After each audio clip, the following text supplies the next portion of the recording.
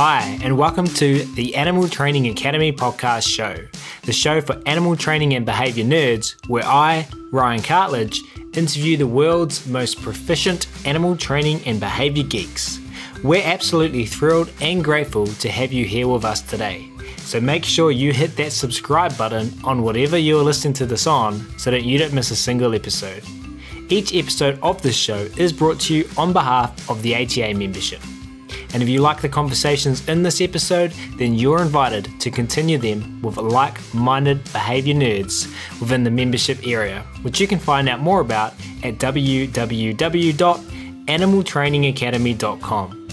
Once part of the ATA tribe, you'll get access to twice monthly live web classes, the back catalogue of previous web class replays, plus a huge library of videos and projects to help problem solve your training challenges.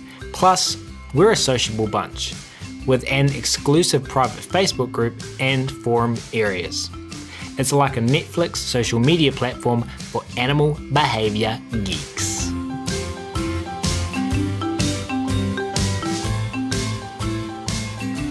But we will get started on today's episode where we will be talking to one Dr. Afiya Fredericks. Dr. Fredericks is the Director of Professional Learning, Implementation and Research at Mindset Works. She was introduced to the growth mindset at the onset of her graduate school career, where she studied the growth mindset throughout her master's and doctoral studies. Afiya delivers talks and workshops for educators, leaders, and businesses. She is also an adjunct professor teaching research methods and statistics and psychology foundations to college students. There, she has been able to apply her work on mindsets and create a classroom environment and culture that embodies those beliefs. Dr. Fredericks truly believes that a growth mindset is more than just a concept that we want our students and colleagues to embody but a lifestyle that we should all strive to commit to. A St. Croix USVI native, Afiya enjoys travelling home and taking in their magnificent views. So, without further ado, it's my very great pleasure to welcome one Dr. Afiya Fredericks to the ATA podcast show today. Dr. Fredericks, thank you so much for taking time out of your schedule to come and hang out with us at Animal Training Academy. Yes, thank you, Ryan, for having me. Um, it, I'm I'm honored to have been invited to to spend some time with you uh, and uh, and your colleagues. So thank you. I'm super excited about this episode, and I've been wanting to create content on the growth mindset for a long time. Some of you in the podcast audience might have heard of the growth mindset before, and some of you, this might be the first time. I personally first heard about it in the work done by Carol Dweck, and the work that forms the backbone of the company that Afiya works for, Mindset Works, which we'll hear more about soon. But I first heard about it on a marketing podcast about five years ago. And I then downloaded the audiobook, and it literally changed my life. It changed how I viewed myself and helped me understand others. And as I said, I've been wanting to create content on this for a long time, but I feel extra excited because of being able to record this episode in June 2020. One topic that is really occupying my thoughts at the moment is how to provide you, the podcast audience, with more tools, resources, and strategies to be effective ripple makers as we work to disseminate information about what we do, and to become effective at working with everyone, including others who might have a different approach to behavior modification and training than you do. I believe to build our skill set at doing this, there is value in seeking conversations about what kind of mindset would best set us up for success. And there is no question in my mind that the growth mindset has immeasurable value for our animal training community. So let's dive in and learn all about it. Afiya, I'm curious to learn a little bit more about you and how you came to be doing what you're doing. But before we do that, can we start off by you defining for the listeners of this show what the growth mindset is and why it's important? Absolutely. So, when we talk about mindsets, we're talking about belief systems that we hold about the nature of our intelligence, our abilities, our personalities.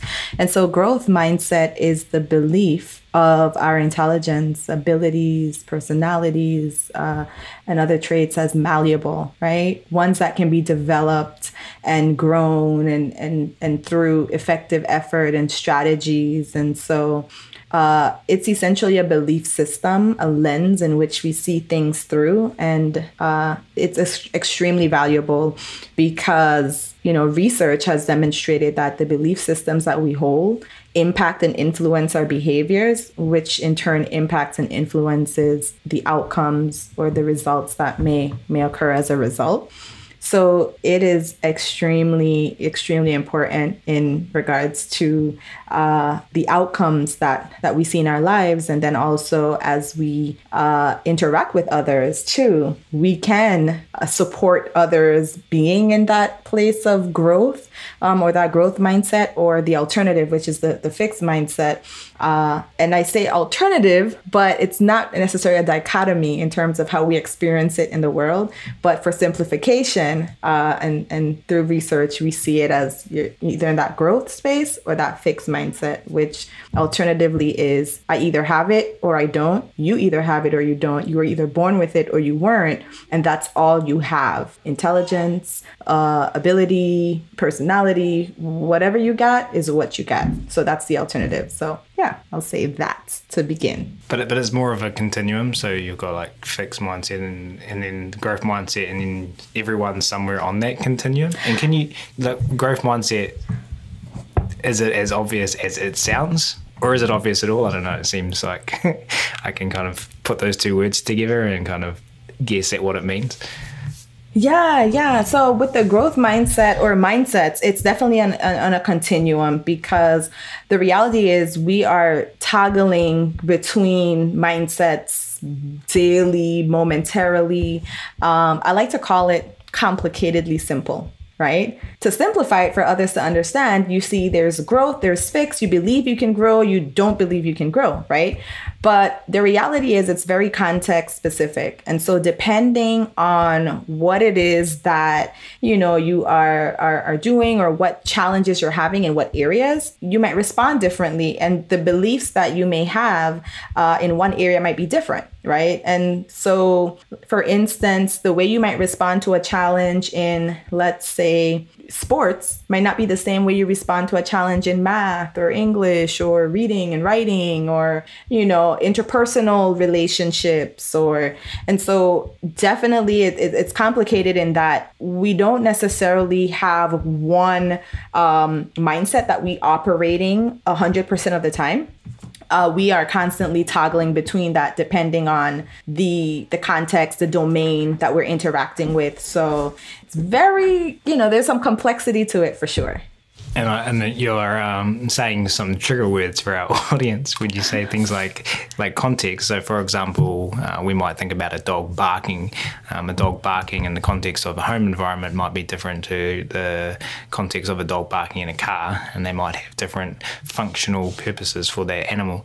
Um, so, is, is that does that kind of relate to what you're saying? If we've got a different mindset on the sports field versus when we're learning maths, it's because of there's different reinforcers available and different learning history history for individuals there, and therefore we kind of think differently? So absolutely. So you're touching on I think multiple aspects, right? Um, so on one end, I'm I'm I'm hearing uh, I'm hearing kind of insights on where they derive, where do they come from, how do we develop these mindsets, right? And then on another front, I'm also hearing, well, what are the uh, the what what type of environments possibly possibly might help to support one mindset or the other, or um, uh, you know, support the development of of our, our mindsets, right? And so, so on the one front, I'll start with the where it comes from. Uh, really, with our mindsets, it's it's about really the messages that we receive, you know, whether from our family members, parents, educators, the experiences that we've had. Uh, messages are always being sent, you know, to us, whether directly, indirectly, consciously, or unconsciously, right? Uh, about the nature of our abilities and our intelligence. Because if I believe something to be malleable or not, I'm going to speak about it in a way that's going to imply that um, whether I'm conscious of what my beliefs are, or and or if I'm conscious of how I'm I'm talking about or what messages I'm sending, that's another question. So for one, I think the, the the one thing that I think is probably more obvious to to some is the experience of of failures, right? Past failures being uh, something that could lead one to having a fixed mindset, right? This belief that this is who I am, this is where I am, there's nothing I can do about it. Uh, and if you, you can think about that, you know, I haven't excelled at a particular subject or area uh, historically, and thus I'm more likely to believe that I can't, right? And you hear people say things like, I'm not a math person, I'm not a social person, I'm not a, you know, whatever the, the thing is. And that essentially is what that's that's getting at, right? My experience with this area, with this thing, then supports my belief of, well, I can't or why even try? And see, that's the thing. When you have that belief of I can and I'm not, and this is who I am, then you think about the behavior that follows. That behavior then is so why bother? Why would I engage in the activities that are going to support my ability to grow in that thing if truly I don't believe that growth is possible? And so I believe those activities to then be futile. So I'm not going to engage in those activities. And thus the results, right, are more than likely going to be that you're not going to see the growth in those areas. So that's just also that connection between the beliefs that we hold and how that influences our behaviors and the outcomes that we might see.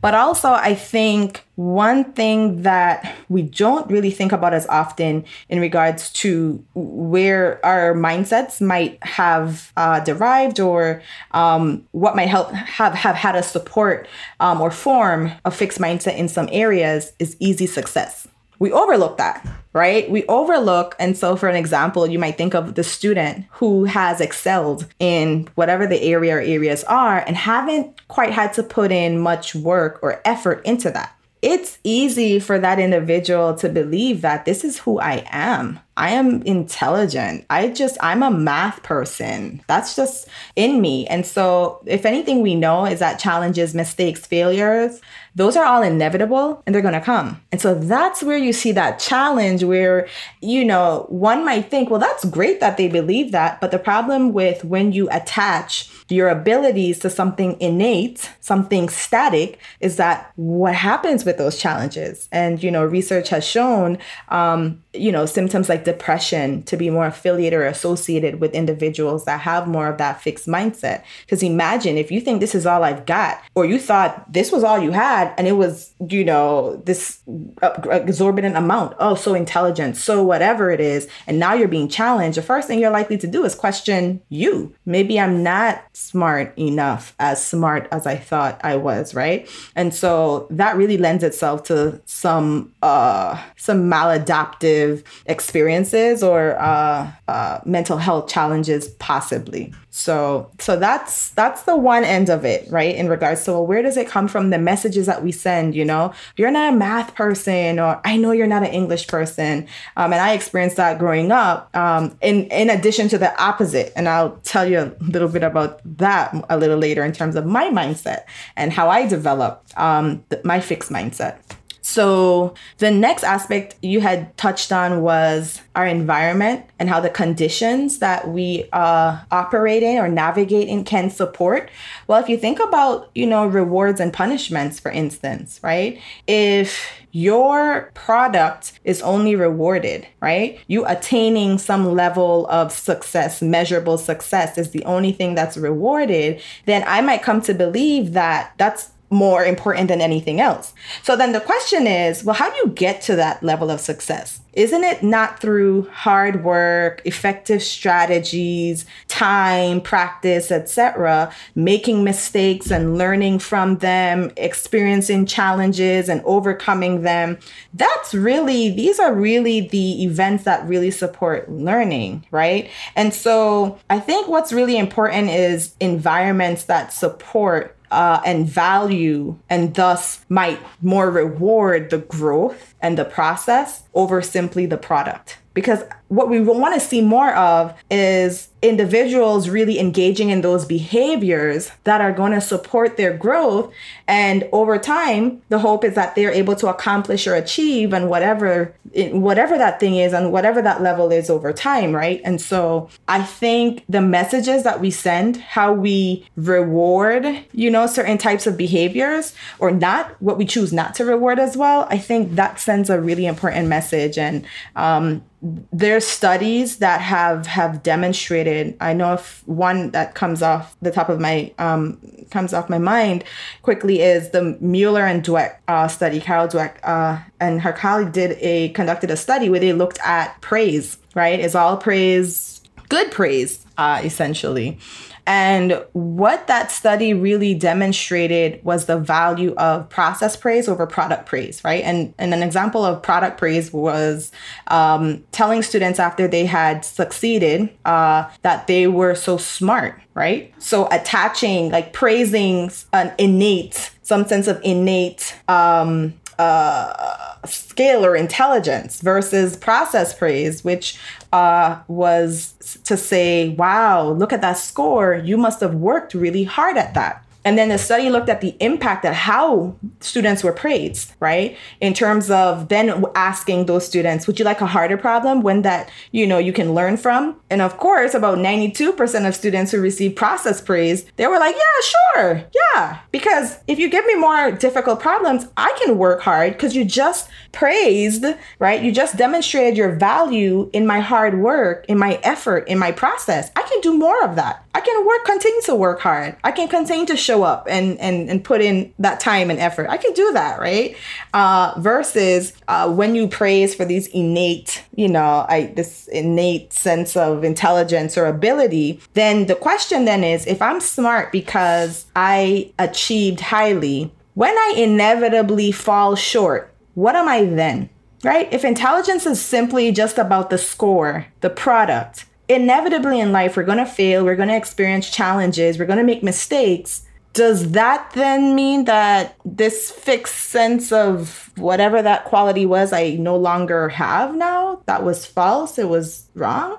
Right. And that's, I think, a, a big challenge. And, and what's interesting in that study, what the researchers found were that uh, when students at the end of that study had were asked about their you know their uh, accomplishments students who received product praise uh, or intelligence praise were most likely to to lie about it. So again, if there's this fixed entity that I have, I need to hold on to that. I might lie, I might cheat, I might. I gotta make that score. I gotta hit that you know that mark to demonstrate like this is the amount of whatever that quality is that I have right? And so um, there are a lot of detrimental uh, um, impacts that holding that fix mindset, that belief of, you know, this is how much I have, and communicating that through oftentimes not conscious ways of highlighting or, or you know, this um, these traits uh, rewarding, you know, traits, how smart someone is, how much of a people person someone is, and and meaning or intending to do good, but in turn, you might put that person in this fixed sense of, oh my gosh, this is who I am. This is what I'm expected to do versus focusing on the process, right? Not that the product isn't important, but if we're going to talk about product, let's talk about how we got there. Let's talk about what we did to get there, the strategies that were used, right? Uh, the effective effort that was put in, the time that was spent. Let's focus on that. And thus, let's show that that's valued and so, you know, one of the best ways to demonstrate uh, something is a value is to present a reward for those behaviors that we know will lead to growth uh, over time. And I would say also with growth mindset, you know, I remember being at a professional development talk and uh, a man asking me, well, th- does that mean that he can become a figure skater, a, you know, some something, a ballerina? It was just something like okay, out there. And I said, well, that's a misconception. That growth mindset is saying that everyone is going to be an Einstein or everyone can a- achieve on, you know, whatever those levels are. Well, we know we're all starting off at different places and spaces. So, what growth mindset is saying is that regardless of where we are, growth and improvement is possible. And so, where you are today is not where you will always be and where you were yesterday you know it, it, does not then mean that there is no opportunity for us to grow. And so it's it's definitely relative but the idea is that we can always improve we can always grow and we know it's through incremental growth and development that we you know achieve and we're able to accomplish whatever those goals are that we set out for ourselves. Awesome and i'm gonna uh, just disclaim what I'm going to about to say. Well, my forms, my, my, my thoughts are racing right now, and they're not probably very well articulated. So I'm going to try and uh, give you an example from our industry. Uh, and you can say, Ryan, were you even listening to what I was saying? Or, yeah, that, that's exactly what I was talking about. So, uh, something we sure. talk about, uh, and, and I think is relevant to all, all people in all industries, is imposter syndrome and Don, Dunning Kruger effect. Um, and someone might we might be online, we might be sharing our training videos. I'm guilty of this podcast audience, by the way, and we might share our greatly trained dog, um, but we don't show all of the mistakes that got us to that greatly trained dog. Um, and if if we have imposter syndrome and like, but I have I'm Karen Pryor, training professional certified. You know, I've got this label attached to me. That's who I am. Who am I if I show a video of me training my dog and it's all messy and all over the place? Um, and uh, my audience going to discover who I am. Um, so, and, and I feel like that's something that I, I experience, uh, even though I say that I've read the growth mindset and I'm creating content on the growth mindset and I'm inviting this conversation. Like, I'm not definitely, uh, depending on the context, as we talked about earlier, uh, experiencing that and being able to. Um, have that mindset in all contexts. Uh, is, is that a relevant kind of industry absolutely, example? Absolutely. Well, I think it's awesome. Um, the level of awareness that the question just demonstrated like you being aware of uh, the actions that you may take sometimes and how that could speak to you know one mindset versus the other and and how you feel right? Um, and i think that's really the first step to really beginning to transform and and grow um, in terms of our growth mindset and then also deepen the growth mindset that we may you know we may may have already. Um, so awareness is really important. And I always say that with mindsets, we're talking about adding a, essentially a layer of consciousness to what we do, right? It's like, what are we doing and, and being conscious of the messages that we're sending and, you know, the intention behind what we're doing and why. So that was really a, a great, a great question. I would say that, especially I think in today's world, it's really difficult um, to I think to to to be open and vulnerable with the challenges that we're experiencing and mistakes.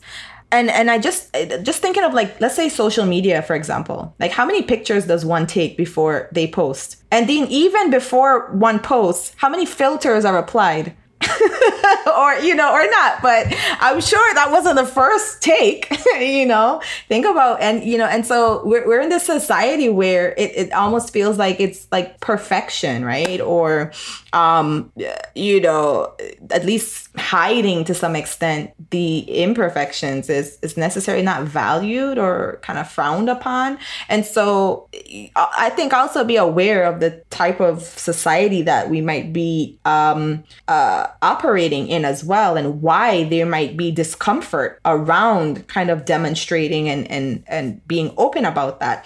But i think it's really important because what you might be doing then is triggering other people's fixed mindsets and possibly putting them into that space where I can't demonstrate my work or talk about my work unless it's perfect or I can't show, you know, any signs of challenge or and so sometimes I think we don't realize that we might in turn be um, uh, sending a message that we don't necessarily intend. And I think a, a great example for me is like just thinking about being in the classroom I know myself as a uh, adjunct professor especially in research methods and statistics with psychology majors, the minute they walk into my class, many students, they're just like, the walls are already up, right? It's like, oh no, I've never done well in math. I, I've always struggled. It's like, you know, and I think for me, I realized that students really believe that I was pushed out the womb uh, computing statistical problems. Like, oh, Dr. Fredericks, you, you know, you got this, you. And I, part of, I feel like my duty as an instructor, as a, a professor, um, is to be clear and let them know and be transparent about my struggle right? Because I recognize where they are and I want them to see that the only difference between themselves and me, right, is the the the years of work and the challenges and the mistakes and the failures and the so I'm very transparent about my struggles with statistics. And you know, it takes some time before they really believe what I'm saying, but I have to demonstrate, I have to share, you know, and to a large extent be vulnerable with them because I want them to see themselves in me and so it's important. And then what I'm also saying is, are you experiencing challenge? Are you struggling? Oh, well, that's great because I also had to do that to get to where I am. So it's almost like you're on the right track. If you're struggling, if you, and, and some people may not be struggling as much, right? But for those who are, and they'll probably continue to excel, uh, but for those who are, I want them to know that this is a part of the learning process. And that's a big component of growth mindset. It's the learning from the challenges, the mistakes, the failure. Growth mindset really allows us to look at those things as opportunities. And and it sounds great and and it's definitely not as easy as it sounds, I'll tell you that. But that's really a core component of growth mindset. Neuroscience supports that there's neuroscience that demonstrates that individuals with the growth mindset, physiologically, their brains respond differently when they make mistakes. And the response or the attention paid to mistakes then leads to future uh you know future uh, achievement in regards to those very same types of problems then being able to then get them correct in the future because the mistakes were made and they attended to them so, if you think about the science, the neuroscience of learning, mistakes are a very important uh, uh, catalyst to our growth and our development. And so, oftentimes, we're fighting against emotions like judgment, shame, fear, guilt, right? And so, that's very natural and normal to feel those ways. Uh, but if we think about it in terms of opportunities, and I have a colleague, Jen Machin, and Jen Machin always poses this question, and she's like, What are you going to do about it? Okay, you're encountering this challenge. You just made a mistake. What are you going to do about it? And I think with growth mindset, right? It, it, there's un- essentially what growth mindset is saying is do you believe in neuroplasticity? Because science has already stated that this is a fact. Do you believe in it? And do you believe in your ability to influence and impact your reality through the power of neuroplasticity? Right? And I was talking to another colleague of mine, Dr. Kendra Coates, and as through our well through our conversation, that's what we we we came to because we always grapple with the nuances of growth mindset all the time. And and I, and, and I said, wait a minute, what are we really saying then? And she said, Afiya, do you believe in science? That's what the question is. That's what Kendra said. She's like, eh, there's that's not debatable. That's real. We know that it's possible for us to grow and develop. We know the benefits of challenges and mistakes to our, you know, neurologically, right? Because when we're talking about growth, when we're talking about improvement, when we're talking about learning, what we're talking about typically is one of three things. It's either the the the building of neural pathways, the strengthening of those neural pathways, or the generating of neurons. Right? This is a scientific fact. So the question is do we believe in it? And if we do, then um, that allows, and, and so if we believe in it, then it's also that agency piece well, you have the ability to take control of that process and use it for you if you choose to do so. And the belief that we have, if we believe in that and we believe that it's true for us, then we're more likely to do something about it, aka, uh, or also known as, or, you know, uh, engaging in learning zone activities. When we talk about the learning zone, we're talking about deliberately focusing on improving and growing and learning. And so engaging in those activities. And the CEO of, of Mindset Works, Eduardo Briceño, he talks about this. Uh, he talks about deliberate practice and the importance of it, right? I think it's Eric Anders that uh, he wrote Peak, you know, the psychology of success.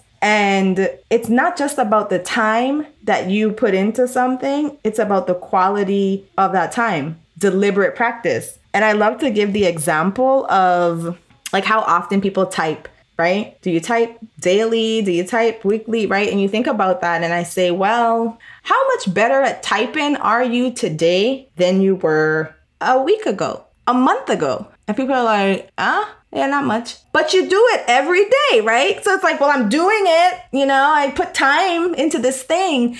And it's like, right, but it's not about the literal, I'm just putting time into something. I'm just doing something repetitively, right? Are we focusing on specific subset of skills? Are we focused on improving certain areas, right? And so when we think about what we can do about it, it's also about being strategic about those things. And we don't always know how to specifically improve something. And if you think about typing, it might be purchasing a program or a software, right? Um, to support us through that. It might be talking to someone uh, like yourself, Ryan, who might excel in certain areas, right? And it's like, well, what are what are you doing? Because maybe I can learn from from what you do, what you're doing, or what you did, or maybe you've had that struggle or that challenge, and these specific strategies supported your learning and your growth, right? And so it's really about the time that we spend and the deliberate act of working and targeting a subset of skills uh, and engaging in the activities that are going to support that growth in those areas as well.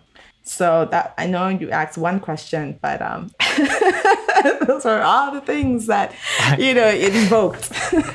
hey, hey, you know, this, this is one of those podcasts where I wish people could see your face when you said, "Do you believe in neuroplasticity?" just pointing at the screen and a massive smile on your face. Hopefully, they can hear it in my voice. And hey, you said you wanted just to riff on this podcast, and I know I sent you an outline, but uh, uh, if we never get to any of the questions we sent in the outline, I apologize for that. We call it passion talking. Normally, I say passion talking is defined by the person saying, "What was the question again?" In your case, maybe I know you asked one question, or your face when you said, "Do you believe in neuroplasticity?" I like that you brought up vulnerability because I'd written uh, that down. Uh, it's a it's a word I've been listening to Brene Brown on Netflix. It's a word that uh, we've been talking about on the podcast today, and the vulnerability and courage uh, being inseparable. And, and us within our membership at Animal Training Academy, we try to celebrate courage and, and the sharing of uh, training videos in our community and being vulnerable in that space. And, and I find it so interesting. We talked about context before. I'm, I'm just jumping back to notes I've made, and, and it's kind of like picking up little pieces throughout the conversation. Um, we and, and, and just want to work on this a little bit more and, and maybe you can offer some tips here. I feel i feel one uh, there's so many challenges that we have as, as humans and that are um, you know ones that share similarities of all industries and we've got our own specific examples within animal training industry but we're, we're very good i believe at, at teaching because we have animals in front of us and we teach them and we ignore mistakes and we celebrate success um, and then we shape little tiny baby steps towards the behaviors we want and we get there in the end and we have these videos of these animals doing these amazing things you know lying there for 20 seconds while we inject them in a, a lion with a needle into his tail and it doesn't flinch and then it gets up calmly and comes with us and does the next behavior um, but then we have to take that same skill set into a different context uh, and that is with humans.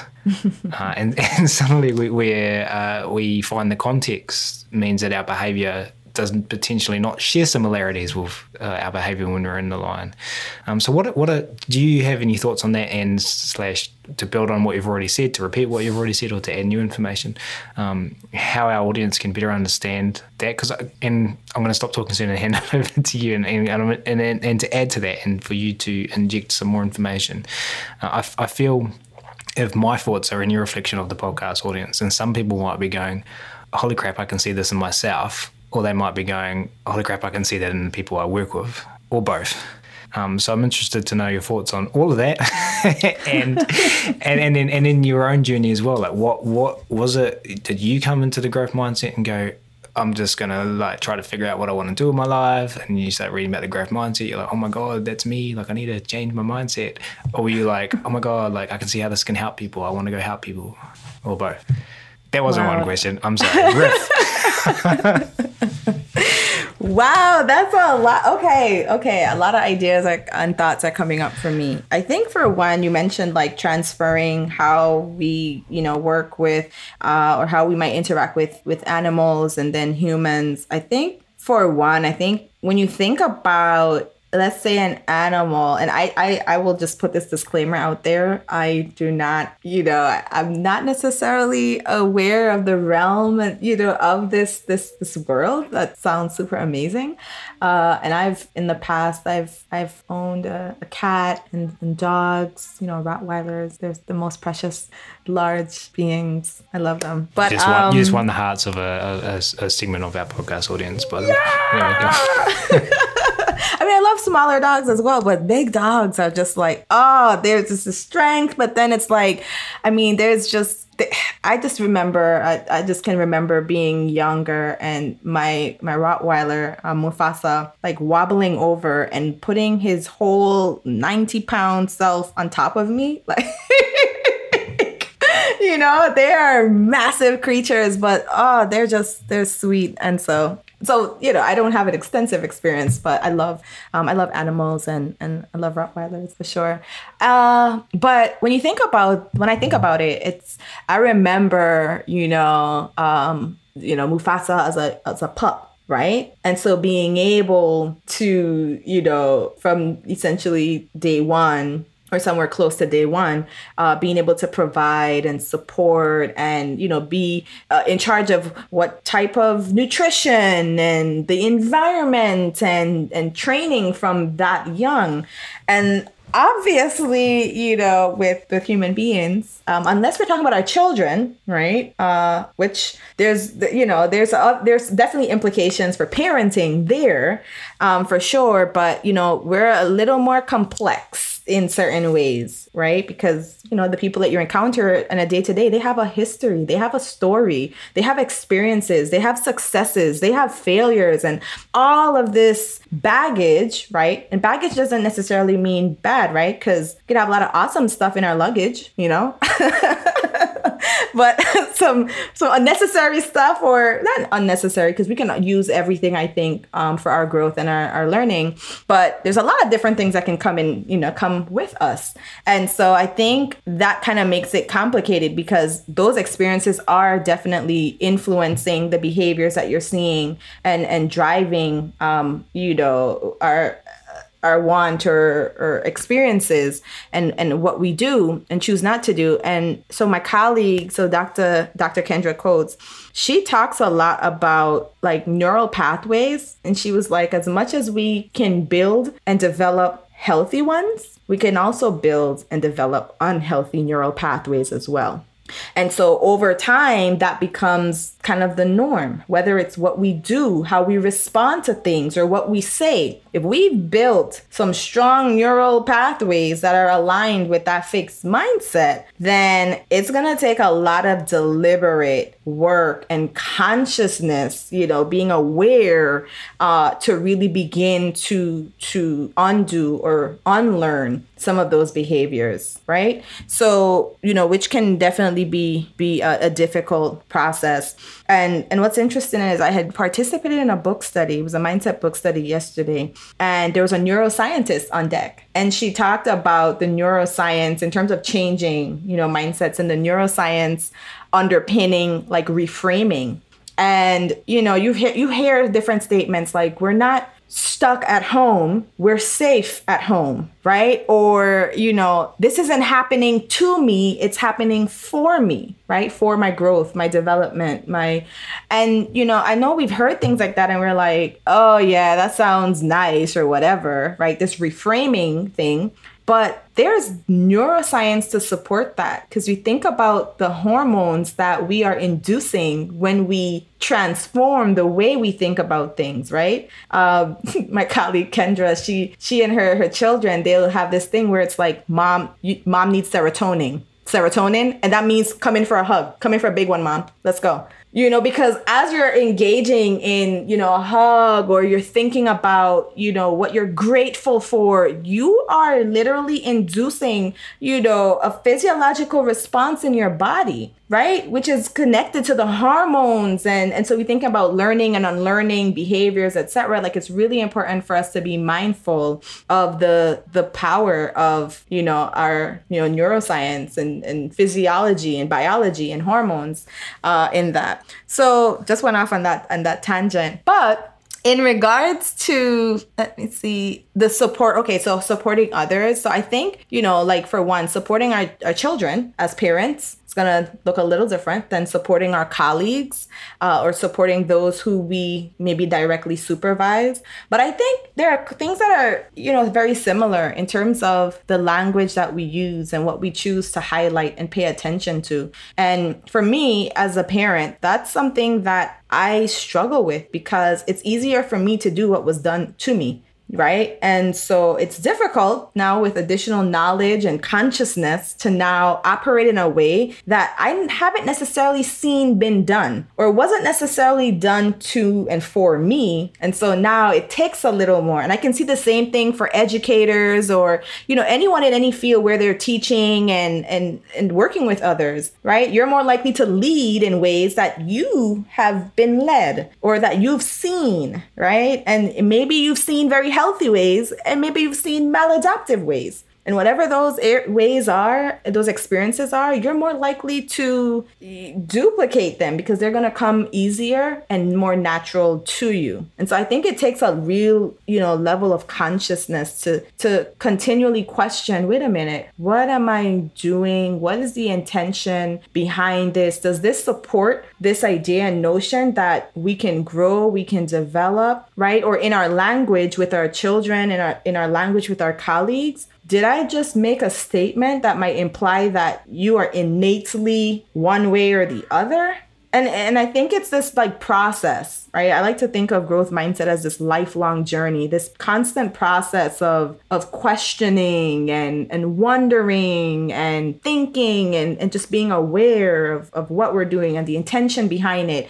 And and knowing that the mistakes that we might make, the failures that might occur are really important too, if not more important to our learning and our growth and our development. So I think for one, the language is kind of the main thing in terms of communicating. And then also and so with language i'm saying there's there's two parts. I think for me especially with my my son it's the highlighting the neuroscience behind it right? Because again to go back to what i said previously do you believe in neuroplasticity? Because it's true right? And so that being able to teach him like honestly he has like some stuffed neurons and a stuffed brain. I mean, thanks to my colleagues because they're like amazing, Kendra and Jen, right? So my two-year-old, if I if he saw a picture of a neuron, neuron, neuron, like he like, hey, get neuron, buddy. Oh, get your brain. You know, and so from very young, we're having these conversations. He's very much aware, right? And so I'm gonna build on that, right? When he's struggling, oh my goodness, I ah oh man, I like for me, that's opportunity. That's an opportunity. Is it hard? Are you struggling? Like I like to ask him so that we can we can confirm that it is hard. It is struggling. Just in case he missed it.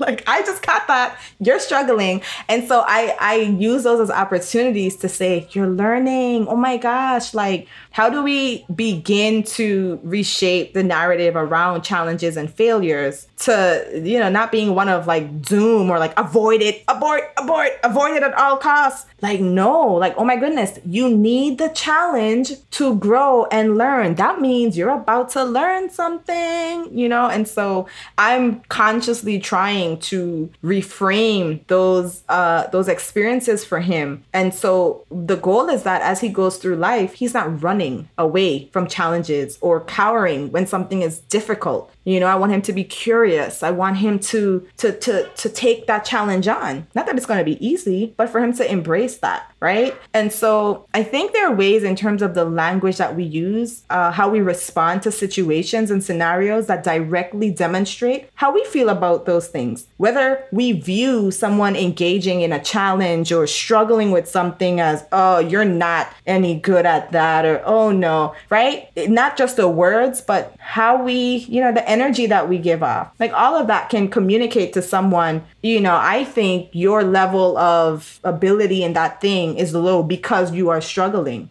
right? And so thinking about our beliefs, we're going to respond differently depending on what we believe. Because if I believe you can grow and I believe you can learn and I believe mistakes are important, uh, you know, an important uh, catalyst for that, then I'm more likely to provide you with resources I'm more likely to make recommendations and suggestions to you. I'm more likely to support you through those challenges, those those mistakes and those failures, right? And so that's something also to be conscious of that, you know, we respond to things and people in ways that really demonstrate those underlying beliefs that we may have, whether it's about a person, right? I might believe you can grow, but I don't quite believe you can, right? And so I think for us to be aware of the messages that we're sending, how we respond, especially when people are challenged and, and, and going through, you know, a setback or failures, I think those are those real, I think, opportunities to to to to demonstrate our belief in the malleability of individuals their intellectual abilities and you know whether it's personality or just skills and abilities in any any you know area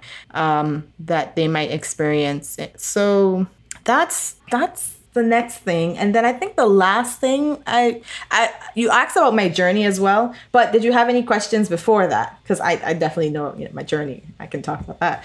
But did you have any questions um, just just acknowledgement that. that. when i'm talking and, and rocking uh, our 11 week old baby summer uh, i'm like man you sound just like your mum right?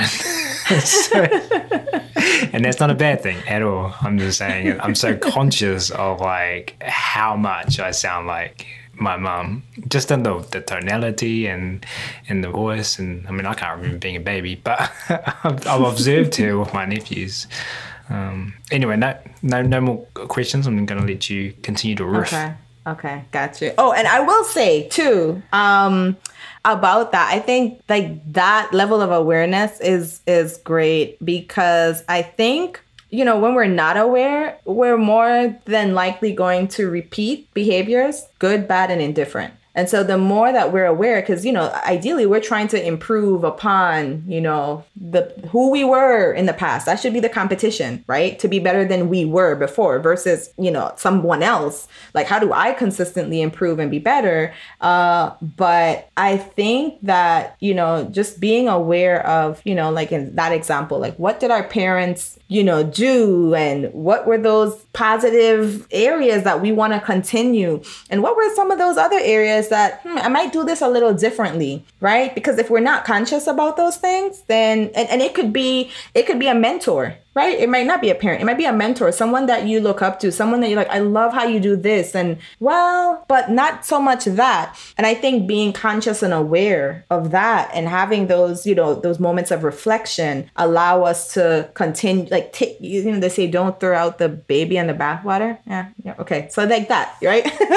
take what you, take what you see as valuable, but then also kind of learn from those areas that might not be as adaptive for you and, and, and make that that your own. But I think it's only through consciousness and awareness and reflection. I think that's an important aspect too when we co- we talk about mindsets and growth, right? If we're not taking time to reflect on what we're doing and is it working? Are we getting the results that we're hoping for? So this is not mindless, you know, doing. Like I'm just w- chugging along here. I'm just working, working, working. Well, are you seeing improvement? Are you seeing growth? Because if you're not, then maybe you might want to restructure or change those strategies strategies, you know? Maybe it's not working in the way that you would have hoped for, but maybe there are other strategies and other uh, ways that can support the results and the outcomes that you want to see. So I just want to put that out there that growth mindset is not saying just work, just keep on working, doesn't matter what the results are. That's not the case. Like, that's not what that is. I think that's what Carol Dweck would call a false growth mindset.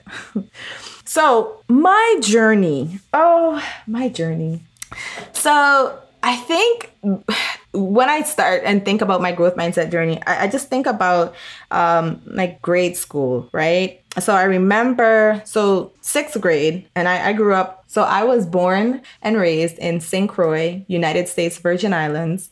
And so sixth grade, we had a promotional exercise, and eighth grade, right? We also had a promotional exercise there. So that's like the end of elementary and the end of middle school for us. And for both of those, I I held the honor of valedictorian. And so that's like the highest honors for, you know, out of the entire class. And so throughout my entire childhood, I can't tell you how many times I heard about how smart I was. That was the thing. You're so smart. You're so smart. You're so smart. It's like you get it from your teachers, from your parents, from your friends, from your friends' parents, from your teachers' friends. I mean, it was just this this thing. And I remember when people said that, I would say, no, no, no, no, no, no, no, no. It's not that I'm smart. It's that I work really hard because I truly felt like an imposter. I felt like the people who were truly intelligent were the ones who just showed up and they could hear a lesson once and they got it. That's it. And I wasn't that because, lucky for me, or at that time, unlucky, right? That's what I thought. Uh, I had a mother who was an educator. She's a middle school social science teacher. And so with her, it was no, you are not going to watch TV during the week.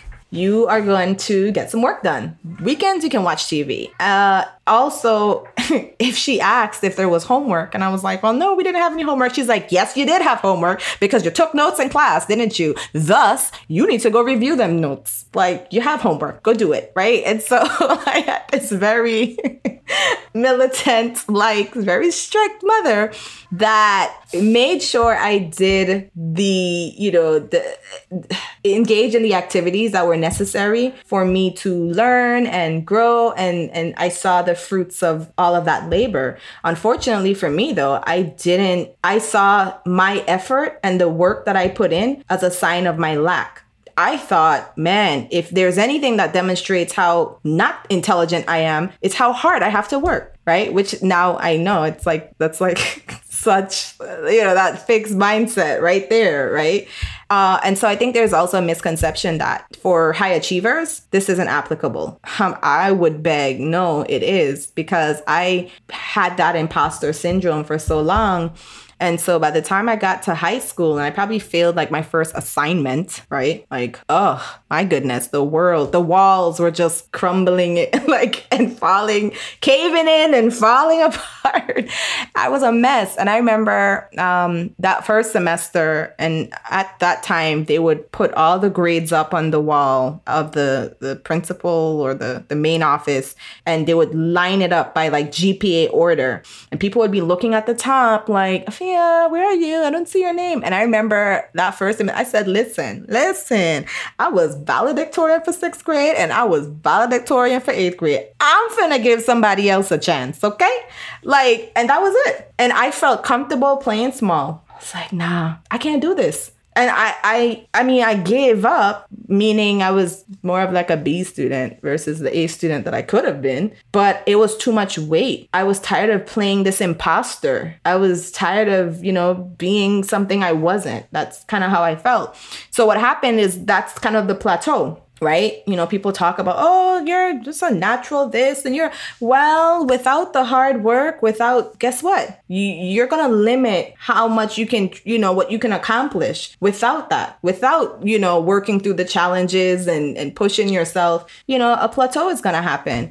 And so, you know, I, I, I plateaued and, and I remember, you know, undergrad, you know, I just kind of, yeah, and I coasted on through and yeah, you know, and, and I remember math was a big struggle for me because like in school, I would have questions. I wouldn't dare raise my hand, right? Because oh my goodness, if my colleagues only knew how much of an imposter I was. So I would wait till after after class, after school, and I would go to my teachers and I would have a list of questions. you know, so just hiding, constant hiding. And so, you know, I went to undergrad and, you know, I, you know, I just kind of did my thing and coasted along, right? And again, like my coast just happened to be, you know, decent. I think I had like a 3.6, just, you know, coasting. I worked hard, granted, but I kind of just was like, you know, I'm not a smart person. This is just who I am. I'm just going to do what I need to do. And, you know, that's that. Uh, so what I was taught and those values of, of working hard and studying, I kept doing those things, right? Um, and so I was able to achieve and accomplish. And it was only until I, it, was only when I got to graduate school, I, I attended Howard University. Uh, and I guess I should mention the University of the Virgin Islands. Yeah, that was the, my undergrad institution. Uh, so when I say born and raised, it's like born, raised, and then four years of undergrad, right? significant. I think I've lived in the Virgin Islands still longer than I've lived in the US mainland, right? Uh, so it was only when I came to Howard uh, for grad school that I found that first article. It was Blackwell, Dweck, and Truz uh, Kali. That's her first name. I don't want to mispronounce the last name, but I found that first article uh, on growth mindset. It was a 2007 article, I believe. And that was it. I was like, where was this when I was struggling and feeling like an imposter? And this was like, I could have accomplished and achieved so much more had I even understood this. I was just like, oh gosh. And I think about like my mom, and she, I mean, bless her soul, she tried. I remember her telling me, you know, don't worry, I wasn't a math person either. I was like, oh gosh, that's like quintessential fixed mindset message right there. Like, you can give up, honey. It's okay. We're not math people, you know? like and she said it with really good intent. She saw her baby suffering and she was trying to support and comfort me not realizing what she was actually communicating to me right? And that's another thing that again that intention intentionality that being aware and conscious of what we're saying and what we're communicating right? So she knows now but um you know i remember thinking man this this is this was this is my problem. This was my problem right? And some people would be like, Did you really have a problem? I mean, you did pretty good. you know, if you ask me, like, what was the problem? But it was just for me knowing that I could have accomplished so much more and I got in my own way. It was me, it was my beliefs about what intelligence meant and what struggle meant and what working hard meant to me. All of that was just like, you're not supposed to struggle if you're truly intelligent. You're not supposed to have to work hard if you're truly intelligent, right? And so it was that article that really um, opened my eyes and and that's when i realized man this would have been so valuable if i had that you know as a, a child if my parents had that if they knew about it. And and i'll tell you they had no idea what was happening in my mind right? Granted like they didn't know what i thought about being intelligent and smart. I just thought they were torturing me you know just like ah, do i really have to get this work done? Yes you know i i just they didn't know. I wasn't aware.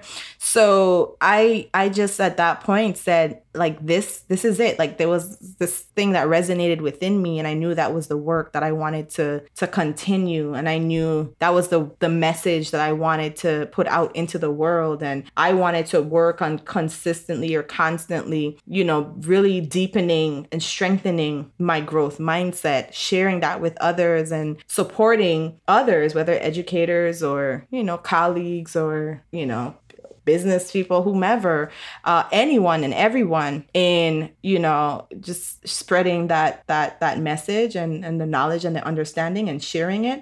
Uh, I think it's really important. And that was essentially when I fell in love with that and haven't turned back since. So still doing the work. Hey, thanks so much for sharing all of that, Afiya. The podcast audience, me and Afiya have just had a little bit of chat that, you, that you, are not privy to because it's off, off air for the for the recording. But we want to keep picking Afiya's brain because this is super interesting uh, and uh, I'm, I'm having a ton of fun, so it's purely a selfish endeavor.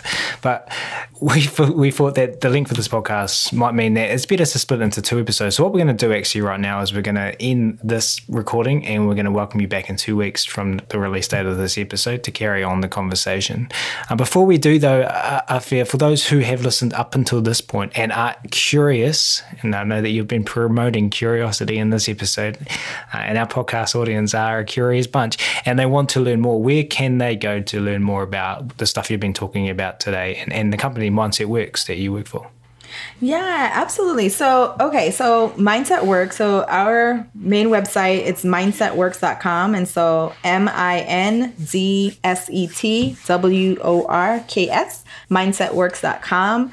You can find us on Instagram and that's at mindset underscore works and be mindful that the works is plural. So, it's an S at the end. Uh, on Facebook at Mindset Works one word, uh, Twitter at Mindset Works, and LinkedIn, same at Mindset Works. And so you can find us on any of those social media platforms, and of course uh, on mindsetworks.com. And we'll link to all of that in the show notes as well. I've spent quite a bit of time on the Mindset Works website. Uh, your mission, I'll, I'll, read your mission out quickly so the audience uh, understand a little bit about it. Mindset Works is the global leader in growth mindset development, leveraging the pioneering research of Carol Dweck and Lisa Blackwell. The company's mission is to enable a world in which all people realize continual learning and growth. The diverse Mindset Work teams includes practitioners, coaches, leaders, and researchers who collaborate to translate academic academic research into products and services that nurture positive learning beliefs, habits, and cultures. If you're listening to this show and you're not curious to go check out that website, then I don't know what to say. I'm sold. That's awesome. Um, we'll link to all of that in the show notes. We're going to continue this discussion in two weeks' time, everyone. Uh, before we do, though, uh, Dr. Fredericks, thank you so much. I know your son uh, has woken just before we started recording, and um, you've been uh, able to to navigate the space and, and allow the, the recording to continue. But we're going to allow you to go be your mum and, and play your other roles in your life. But for spending time with us here at Animal Training Academy today, we are grateful. Thank you so much. Thank you. It was my pleasure. I appreciate it. And I hope, you know, something, at least one thing from uh, what I uh, talked about, discussed, or said today could be uh, beneficial to the lives of, of many. And I hope you, you leave with a feeling of hope and an endless possibilities and unlimited potential, because this is what that work fosters in, in myself. And I want to share that with the world. So thank you, Ryan, for having me.